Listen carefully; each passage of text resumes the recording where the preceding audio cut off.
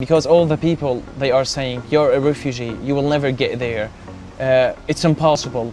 And uh, yeah just go and stay at home. But no man